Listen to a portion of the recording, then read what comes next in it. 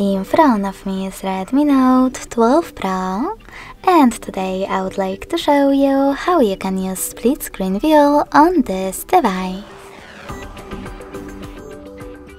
First of all, select one of your apps that you wish to use in this view, like Play Store. Then access background apps. In order to do that with three keys navigation, click on this button with a square.